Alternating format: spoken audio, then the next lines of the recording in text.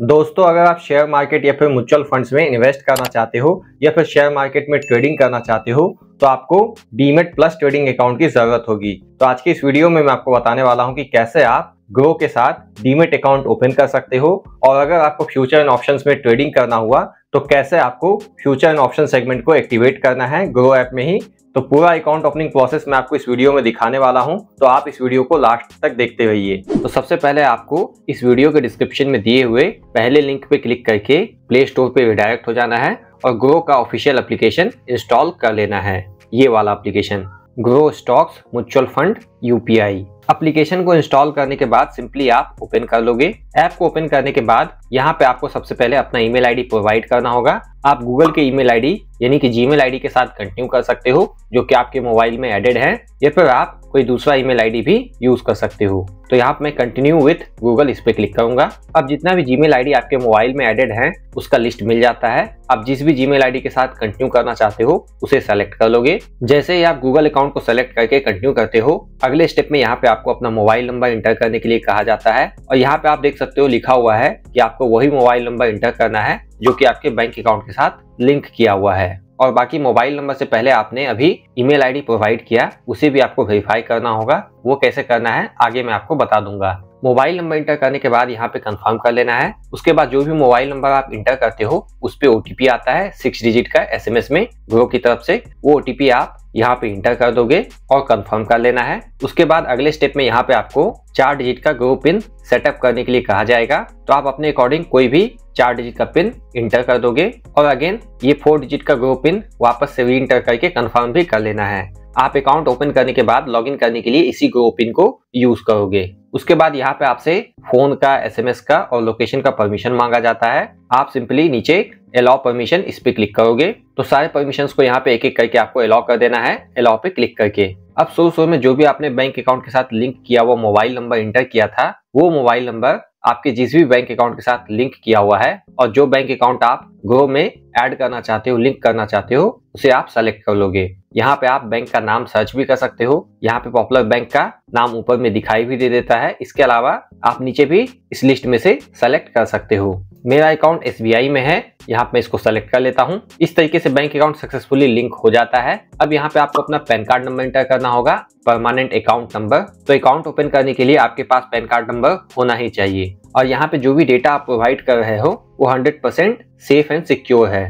Pan card number enter करने के बाद कंटिन्यू कर लेना है। जैसे ही आप पैन कार्ड नंबर इंटर करके कंटिन्यू करते हो, यहाँ पे आपको अपने पैन कार्ड का प्रीव्यू दिखाई देगा। आप नीचे यस कंफर्म पे क्लिक कर लोगे। अब आप अपना ऑक्यूपेशन चूज़ कर लोगे। अगर आप स्टूडेंट हो या फिर हाउस वाइफ हो तो ये भी आपको यहाँ पे मिल जाता है ऑप्शन बाकी आप अपने प्रोफेशन के अकॉर्डिंग ऑक्यूपेशन चूज़ कर लोगे। अब यहाँ पे आपको अपना केवाईसी करना होगा। अब यहाँ पे केवाईसी फिनिश करने के लिए आपको अपना मदर नेम फादर नेम यहाँ पे इंटर कर देना है और प्रोसीड कर लेना है। आप अपना एनुअल इनकम चूज़ कर लोगे। कितना आप सालाना कमा लेते हो। अगर आपका कोई इनकम सोर्स नहीं है तो आप अप टू वन लाख जो मिनिमम वाला है, वो चूज़ कर सकते हो। बाकी अगर आप किसी जॉब में हो तो अपने हिसाब से यहाँ पे आप इनकम चूज़ कर लोगे। जिस भी रेंज में आपका इनकम आता है। अब यहाँ पे आपको अपना मेरिटल स्टेटस चूज़ कर लेना है। आप सिंगल हो या फिर मैरिड हो, उसके बाद यहाँ पे आपको ट्रेडिंग एक्सपीरियंस भी चूज़ करने के लिए कहा जाता है। अगर आपके पास कोई एक्सपीरियंस नहीं है तो नो एक्सपीरियंस चूज़ कर सकते हो।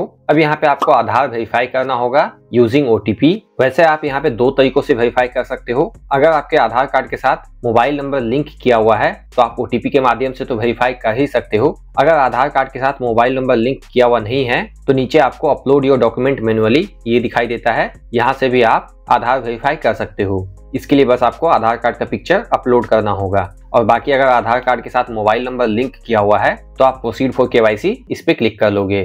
तो दोस्तों, यहाँ पे आपको दोनों बातें समझ में आ गई होंगी। अगर आधार कार्ड से मोबाइल नंबर लिंक है तो क्या करना है? अगर लिंक नहीं है तो क्या करना है? अब केवाईसी करने के लिए डिजी लॉकर के माध्यम से आपका डॉक्यूमेंट फेच किया जाएगा। आप सिंपली इस पे सेलेक्ट कर लोगे और यहाँ से ऑथेंटिकेट आधार इस पे क्लिक करना है। आप यहाँ पे अपना आधार कार्ड नंबर इंटर कर दोगे जो कि बारह डिजिट का होता है और नेक्स्ट कर लेना है। उसके बाद आपके आधार कार्ड के साथ लिंक किए हुए मोबाइल नंबर पे एसएमएस में ओटीपी आएगा यू की तरफ़ से, वो आप यहाँ पे इंटर कर दोगे और सबमिट कर देना है। अब अगर आपने कभी डिजी लॉकर के लिए रजिस्टर किया होगा तो यहाँ पे देखने को मिल जाएगा you are already registered with DigiLocker और जब आप डिजी लॉकर के लिए रजिस्टर करते हो तो आप सिक्स डिजिट का सिक्योरिटी पिन भी बनाते हो। वही पिन आपको यहाँ पे इंटर करना होगा। तो डिजी लॉकर अगर आपको पता नहीं है कि क्या है तो ये एक सरकारी ऐप है, जहाँ से आप कोई भी सरकारी डॉक्यूमेंट उसका नंबर इंटर करके डाउनलोड कर सकते हो। इसके अलावा आप किसी भी डॉक्यूमेंट को स्कैन करके अपलोड करके स्टोर भी कर सकते हो। तो अगर आपने डिजी लॉकर अकाउंट बनाया था तो उस समय आपने सिक्स डिजिट का ये पिन भी बनाया ही होगा। अगर पिन बनाया था और आप भूल चुके हो तो फॉरगोट माई पिन पे क्लिक करके पिन को रीसेट भी कर सकते हो, यानी कि चेंज कर सकते हो, दोबारा से बना सकते हो। इसके लिए आगे आपको आधार कार्ड नंबर इंटर करना होता है और आधार कार्ड से लिंक किए हुए मोबाइल नंबर पे ओटीपी मंगा करके वेरीफाई करना होता है और आप दोबारा से पिन बना सकते हो। तो यहाँ मुझे अपना डिजी लॉकर का सिक्योरिटी पिन याद है, मैं सिंपली इंटर कर देता हूँ, छह डिजिट का पिन और यहाँ से डन कर लेना है। अब यहाँ पे आप देख सकते हो क्या क्या डिटेल डिजी लॉकर के माध्यम से प्रोवाइड किया जाएगा। ग्रो को यहाँ से अलाउ कर देना है। अब यहाँ पे केवाईसी करने के लिए आपको अपना सेल्फी भी अपलोड करना होगा, यानी कि फ्रंट कैमरा से एक पिक्चर क्लिक करके अपलोड करना होगा। पिक्चर क्लिक करने से पहले अगर आप चश्मा या ग्लासेस पहनते हो तो उसे आप उतार दोगे, टोपी पहनते हो या फिर मास्क पहने हुए हो तो उसे आपको हटा लेना है, ताकि आपका फेस क्लियरली विजिबल हो। नीचे ओपन कैमरा दिखाई देता है, इस पर क्लिक करना है।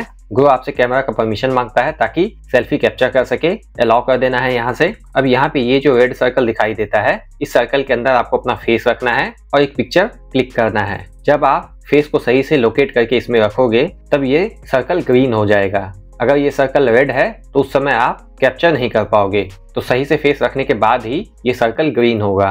मैंने सही से फेस को लोकेट कर लिया है इस सर्कल के अंदर। सर्कल का कलर ग्रीन हो चुका है। यहाँ से कैप्चर कर लेना है। इस तरीके से आपका सेल्फी कैप्चर हो जाता है। अब यहाँ पे आपको अपना सिग्नेचर भी प्रोवाइड करना होगा। आप यहाँ पे इन दोनों पे सेलेक्ट कर लोगे तो सिग्नेचर प्रोवाइड करने के लिए प्रोसीड टू सिग्नेचर इस पे क्लिक करना है। अब इस व्हाइट रेक्टेंगुलर बॉक्स में आपको अपने फिंगर से टच करके साइन कर लेना है। अगर साइन करने में कोई गड़बड़ी हो जाती है तो आप यहाँ पे रीसेट करके साइन को इरेज भी कर सकते हो और दोबारा से भी साइन कर सकते हो। तो सही से सिग्नेचर करने के बाद आपको सबमिट कर देना है। अब आप अपने अकाउंट में नॉमनी भी ऐड कर सकते हो। आप मैक्सिमम तीन नॉमनी ऐड कर सकते हो तो आपके अकाउंट पे आपके बाद आपके नॉमनी का ही हक होता है। तो नॉमनी ऐड करना हुआ तो ऐड नॉमनी पे क्लिक करना है और नॉमनी आप किसी भी रिलेटिव को बना सकते हो माता पिता भाई बहन हस्बैंड वाइफ किसी को भी।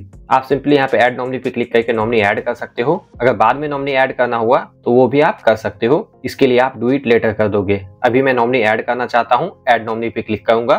अब यहाँ पे आपको अपने नॉमनी का डिटेल ऐड करना होगा। जैसे कि नॉमनी का नेम नॉमनी के साथ आपका क्या रिलेशन है, नॉमनी का डेट ऑफ़ बर्थ उसका आइडेंटिटी प्रूफ ऑप्शनल है, इसे आपको छोड़ देना है। बाकी आप मैक्सिमम तीन नॉमनी बना सकते हो। बाकी अगर आपका और नॉमनी का एड्रेस सेम है तो इस पे सेलेक्ट कर लोगे, क्योंकि आपका और आपके रिलेटिव का एड्रेस सेम हो सकता है। बाकी अगर आप एक से ज़्यादा नॉमनी बनाना चाहते हो तो ऐड अनदर नॉमनी पे क्लिक करके दूसरा नॉमनी भी ऐड कर सकते हो। आप मैक्सिमम तीन नॉमनी बना सकते हो।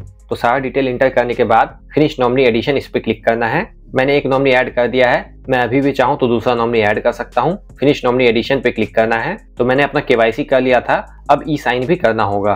वो भी मैं आधार कार्ड और उससे लिंक्ड मोबाइल नंबर पे ओटीपी मंगा के कर सकता हूँ। तो केवाईसी और ई साइन दोनों के लिए आपको आधार कार्ड की ज़रूरत होती है। तो ई साइन करने के लिए भी आधार कार्ड के साथ लिंक किए हुए मोबाइल नंबर पे ओटीपी आएगा। Simply proceed to Aadhaar e sign इस पे क्लिक करना है। यहाँ पे टर्म्स एंड कंडीशन दिखाई देगा। इन दोनों पे सेलेक्ट कर लेना है और प्रोसीड कर लेना है। अब यहाँ पे आपको अकाउंट ओपनिंग फॉर्म मिल जाता है। अभी तक में आपने जितना भी डिटेल फिल किया है, वो इस फॉर्म में दिख जाएगा। नीचे साइन नाउ दिखाई देगा, इस पे क्लिक करना है। यहाँ पे आप अपना आधार कार्ड नंबर इंटर कर दोगे और सेंड ओटीपी इस पे क्लिक करना है।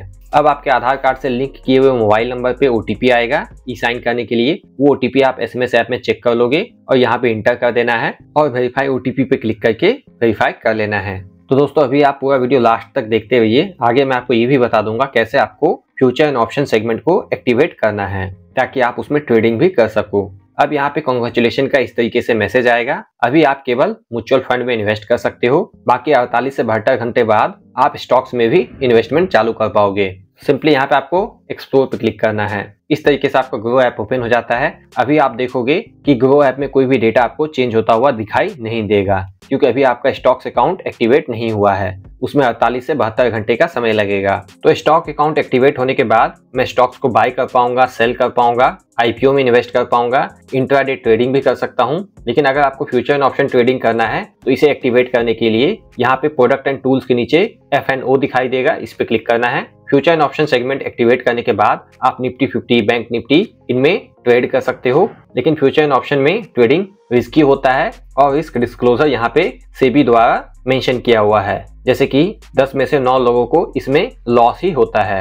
एंड ऑन एन एवरेज हर ट्रेडर को फिफ्टी थाउज़ेंड रुपीज़ का लॉस होता है। बाकी भी आप यहाँ पे डिस्क्लोजर्स पढ़ सकते हो। अगर आपको अभी भी एक्टिवेट करना है तो यहाँ से ओके करना होगा। अब यहाँ पे आपको अपना इनकम प्रूफ प्रोवाइड करना होगा। इनकम प्रूफ आप बैंक स्टेटमेंट के माध्यम से प्रोवाइड कर सकते हो सैलरी स्लिप के माध्यम से प्रोवाइड कर सकते हो आईटीआर एक्नोलेजमेंट प्रोवाइड कर सकते हो फॉर्म 16 दे सकते हो, या फिर DP transaction cum holding statement provide कर सकते हो। तो मैं यहाँ पे सिक्स मंथ का बैंक स्टेटमेंट प्रोवाइड करना चाहता हूँ। इसको सेलेक्ट करके प्रोसीड टू अपलोड इस पे क्लिक करना है। अब जो भी बैंक अकाउंट आपने लिंक किया था, वो बैंक अकाउंट आप वापस से सेलेक्ट कर लोगे, या फिर यहाँ पे सर्च कर लोगे। अब फिर से यहाँ पे आपके मोबाइल नंबर पे ओटीपी आएगा। वो ओटीपी आप एस एस ऐप में चेक करके यहाँ पे इंटर कर दोगे और प्रोसीड कर लेना है। अगेन यहाँ पे आप अपना प्राइमरी बैंक अकाउंट सेलेक्ट कर लोगे, जो कि आपने ऐड किया था और प्रोसीड कर लेना है। फिर से बैंक अकाउंट के साथ लिंक किए हुए मोबाइल नंबर पे ओटीपी आएगा। वो आप यहाँ पे इंटर करके वेरीफाई ओटीपी इस पे क्लिक करोगे। अब बैंक स्टेटमेंट प्रोवाइड करने के लिए कंसेंट डिटेल को अप्रूव करना होगा। आप यहाँ पे देख सकते हो स्टेटमेंट पीरियड कब से कब तक का स्टेटमेंट प्रोवाइड किया जाएगा। सिंपली यहाँ पे नीचे आपको अप्रूव कर देना है। अब यहाँ पे आप देख सकते हो future and option segment unlock करने के लिए रिक्वेस्ट सबमिट कर दिया गया है। इसमें 24 घंटे का समय लग सकता है। तो दोस्तों, ये है पूरा प्रोसेस ग्रो में demat plus trading account open करने का।